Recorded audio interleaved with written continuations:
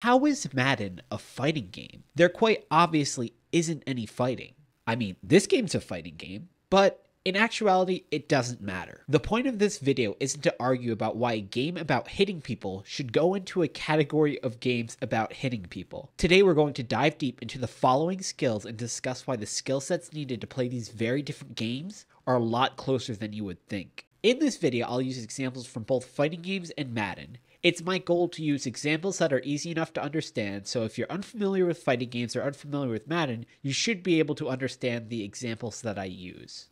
The first thing we're talking about today is neutral. The fighting game glossary defines neutral as the stage of a fight where neither player is blocking or getting hit by anything, and you're trying to figure out the best way to start or continue your game plan. It then goes on to be a little bit more specific, but that is the part we need. In fighting games, neutral may look like a bunch of walking, dashing, or random button presses. What is actually happening is that each player is trying to put themselves in the position to capitalize on their opponent's mistakes while not trying to make any mistakes themselves. Here's an example of neutral in a fighting game. Ground straight. Will Knee make the comeback? He does have the rage. Oh, the footsies, the stare downs here. 10 seconds left. In Madden, neutral is the period before each play begins. Before the start of each play, each player generally has time to look at their opponent's formation and team personnel, or team composition. During this time, the offense will try to read the defense and figure out the best way to start or continue their game plan, and vice versa. Although the football isn't moving, each player is making decisions to put themselves in a position to force errors from their opponent. Here's what neutral looks like in Madden. I'm really every time I go into recording a video now for YouTube, I just like I expect to get only one stop a game. That's just Chuflaka is making so many adjustments before the play starts, it's actually hard to see. In each game, you could be outplayed in neutral. In that case, one of you would be in the advantage state and the other one would be in the disadvantage state. If you lost neutral in a fighting game, you probably have to successfully block your opponent's string of attacks, also known as a block string. If you successfully block their attacks, the advantage may be transferred to you. If you lost neutral in Madden, your opponent has designed a play that exploits the formation or play that you have selected. To overcome this, you must make some quick adjustments to make up for the fact that you've been outplanned. Let's say you're on offense, and while you're in neutral, you pick a play that is effective against man coverage. Now you start your play and realize your opponent is in zone coverage. They have the advantage in this scenario.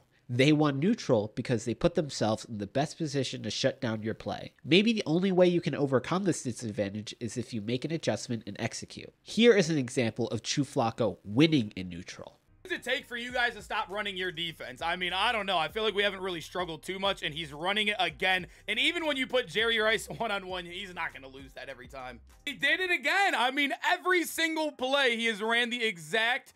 I mean, every play.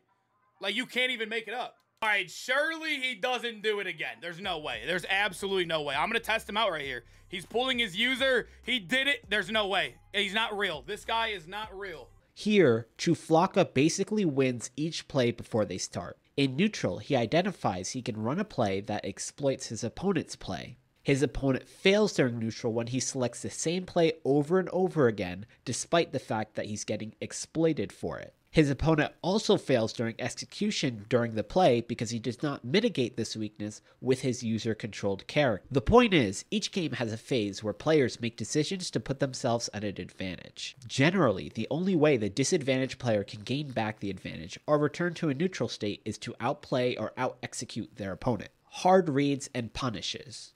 A read is an educated guess. Therefore, a hard read is a read that involves a big commitment if your read is incorrect, you can open yourself up to a big punishment. In fighting games, hard reads may get you killed. Look at this clip.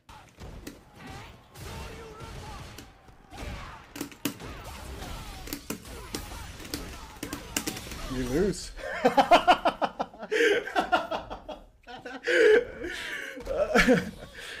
Ken lost here because his hard read was incorrect.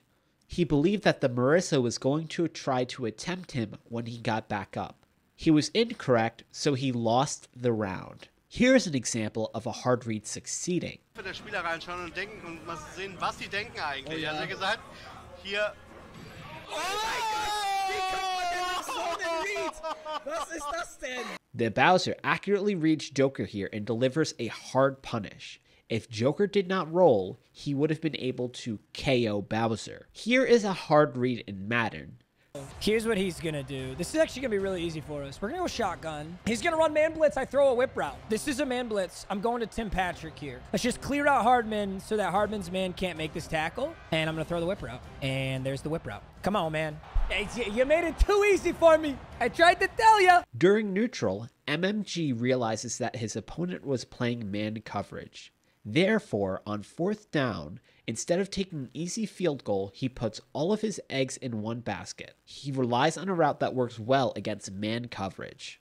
Obviously, every point matters here. If MMG had guessed incorrectly here, he would have lost the ball, and he may not have been in a position to push the game into overtime. Bait and punish. We normally just call this a bait, but a bait is when you successfully trick your opponent into thinking you are going to do option A. Really, you are going to perform option B, which punishes your opponent's reaction to option A. Here, Punk is baiting and punishing his opponent in Street Fighter 6.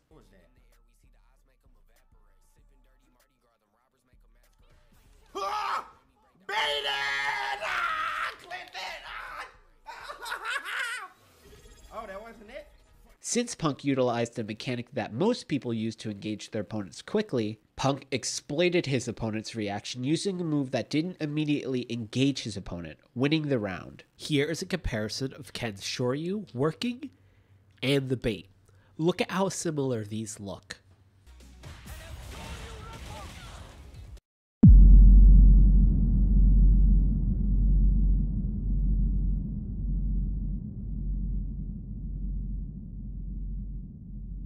In Madden, a bait is the same thing. Here's a bait on defense in Madden.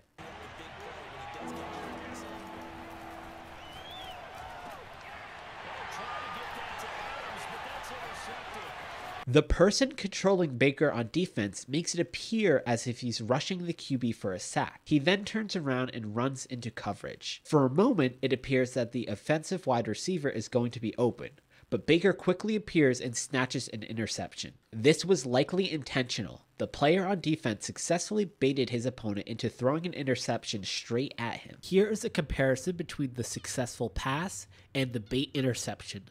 Look at how similar these look.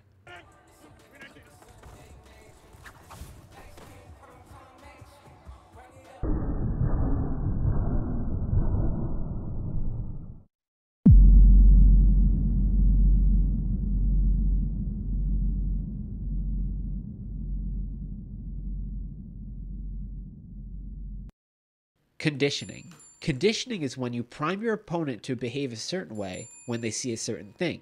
This comes from a study of dogs receiving dinner. If you ring a bell before every meal, the dog will start salivating when they hear the bell because they know dinner is coming soon. But how does that translate to these games? Let's say I've been playing with my opponent for a couple of games, and whenever I use this move, I always follow it up with this move. My opponent will eventually realize he can block both of these attacks holding down and back. If I become aware that my opponent is aware of my habit, I could switch it up and use this move that he could not block holding down and back. My opponent is less likely to react to this new move because I used the other one so much. In Madden, I could do this with my formations. Let's say I always pass when I'm in shotgun and I always run when I'm under center. My opponent will eventually learn this habit. If I realize my opponent has identified this habit, I may be able to punish his conditioning with a play action pass under center, so I can make it look like I'm going to run the ball but really pass it. Since he was expecting a run, you may be able to turn this big gamble into a touchdown. So, in my opinion, these mind games are the best parts of 1v1 games, aside from trash talk. Your mom. Madden and fighting games may be radically different games, but this educated guessing game is present and important in both. Unfortunately, I need to talk about some of the things that hold Madden back from experiencing these concepts in their purest forms. I don't want to rag on Madden too much because there's a thousand videos doing that already, but I want to address my bias. I played Madden for years, from 2013 to about 2020, and these are some of the things that drove me away from the game. Luckily, I found the things that I loved in Madden actually felt better in fighting games. The first thing I believe that dilutes the quality of these precious concepts is RNG. A lot of Madden interactions are up to chance. In Madden, you need to rely on getting a good animation. You can throw a ball a thousand times in this scenario. Although most of the time this might be a catch, you might just get a bad animation. Finally executing your bait perfectly only to be punished by bad RNG feels bad. Although interactions are partly decided by ratings, which we will get into, this isn't always the case. On top of this, 10 of the 11 players on the field are controlled by inconsistent AI. CPU controlled teammates sometimes make ridiculous decisions that you have almost no control of after the play has started. Your teammates on defense may not cover the very small part of the field that you've assigned to them, or maybe your offensive line just misses blocks. Do you remember when MMG made a hard read to catch a touchdown, securing crucial points that put him in a position to win in overtime? Kick in this game, right? There's just no way you return a squib, right? I shouldn't say that. That's gonna go all the way back to Kadarius Toney. Are you kidding me, you guys? This is the worst case scenario. Should return a squib. Three kick return touchdowns. That's crazy. In here, who's 52? AJ Klein. What is this? Why did you do that? Just go tackle him. So even though he made the safe decision to put his team into overtime, and he selected a kick designed to safely trickle the clock, he still lost. Why? Did his opponent make a hard read and punish him? Did his opponent out execute him? No, in large part, it's because MMG's CPU controlled teammates just decided not to play. In Madden, there are just so many inconsistent moving pieces. Imagine if your assist just didn't work 10% of the time in Marvel vs. Capcom. A problem like this could ruin a combo and you could lose the game. Madden players have to deal with problems like this constantly. Madden is riddled with the same glitches and bugs every single year. We've talked about this one now for years. Vince Gonzo on Twitter put this clip up. You can see the ball floating around, players searching for animations that aren't there, trying to pick up a ball that they can't get to. And what a mess. What an embarrassment. Although some characters may have some attacks that integrate RNG, 99% of the time, an attack is the same every single time you use it. If I hop onto this game and spam punch, the punch will be the same every single time.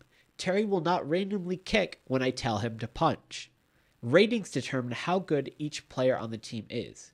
If your speed rating is higher than your opponent's speed rating, you should be able to consistently outrun your opponent. In most modes, like normal head to head, it adds a little bit of depth, and is similar to fighting games which have characters with varying strengths and weaknesses. Of course, it's cool that each team has its own strengths and weaknesses. If I'm facing a quarterback with high speed, like Lamar Jackson, I must game plan around that. The problem comes when we talk about how it relates to Ultimate Team and Madden's only official competitive circuit. Ultimate Team is a gacha mode where you assemble your team using players obtained from packs and the game's online market.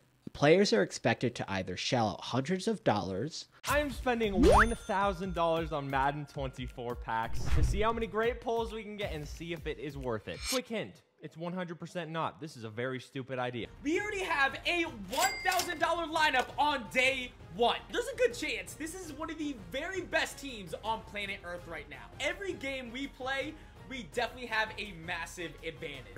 86 overall. The team's about 6,500, I'll say. Undeserved, bro. Dude, bro, my team is way more expensive than this, bro. Today we have a Madden 24 pack opening. 106,000 points. It's a little less than $1,000. Hopefully this builds us a MUT team. If it doesn't, I'm going to be really upset. If I have to actually put more money into this, I'm going to be I'm going to be really pissed. $1,000 to spend on Madden 24 pack. Need some coins for that God Squad you've always wanted? For the cheapest coins anywhere, check out MMOEXP.com and use code ZERK for 5% off your order. Link is in the description. or play for hours every single day to be able to afford a competitive team. On top of that, the best cards in the game are usually the most expensive. Unlike other gachas, Madden Ultimate Team has a very unique power creep. A team that you spent $1,000 on in September will be near valueless in July. It will be totally valueless when the next Madden comes out because Ultimate Team progress resets every single year.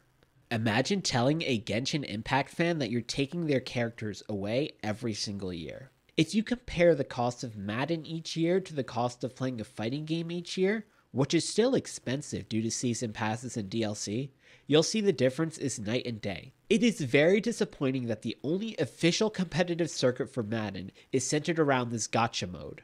I believe that the Madden Championship Series might have the highest barrier to entry to almost any competitive game.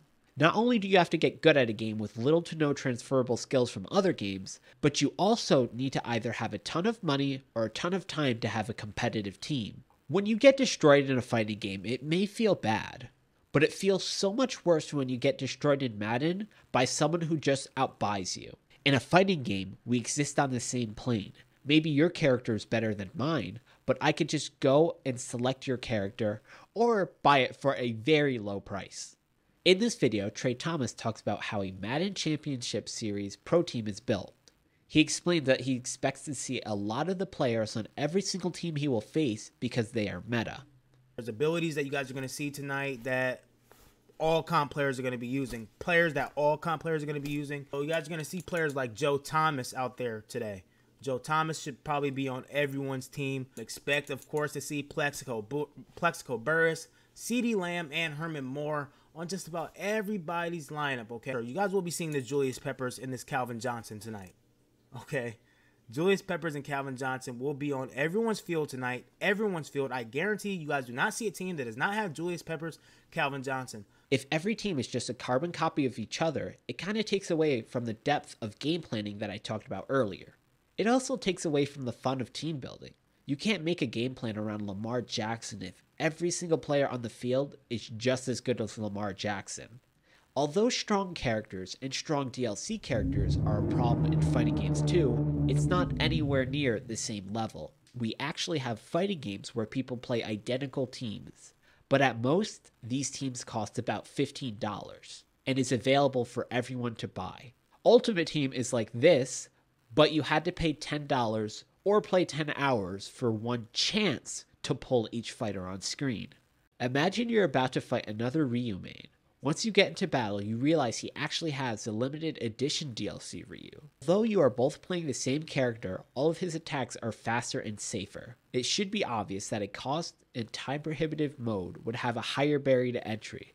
EA doesn't care about this barrier to entry because it makes them more money at the end of the day the NFL EA exclusive deal isn't ending anytime soon, so I wouldn't hold your breath. In fighting games, if Street Fighter has a poor entry, we could always switch to another fighting game. That doesn't really exist for Madden. No other football game can be an NFL football game. Only Madden can. You may hear about people talking about NFL 2K5.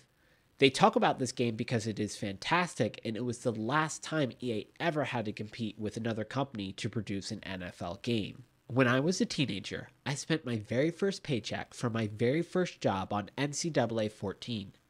I spent seven years and hundreds and thousands of hours playing Madden, but I got tired of Ultimate Team, and more importantly, I got tired of EA. If you're tired of having to devote days of your life to challenges to grind for coins to be competitive, I think you should try fighting games. Probably already developed skills that will transfer over.